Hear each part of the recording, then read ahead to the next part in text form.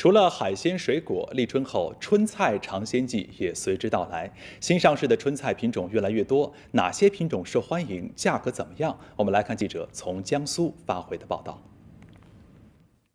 记者首先来到了南京晋香河菜市，蔬菜区域摊位上多了不少时令蔬菜，马兰头、母鸡头、豌豆苗等等。香椿由于售价较高，进货量并不大。马兰头吃回来的是啥？这个也十块，香椿太贵了，现在 八十块钱的。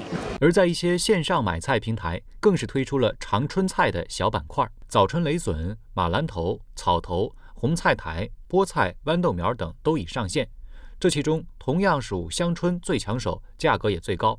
一百克一盒，售价十九点八元。近一周来，春季时令蔬菜类的销售较上周环比增长了百分之五十，其中草头、香椿、春笋、蚕豆、荠菜占据了人气占卜。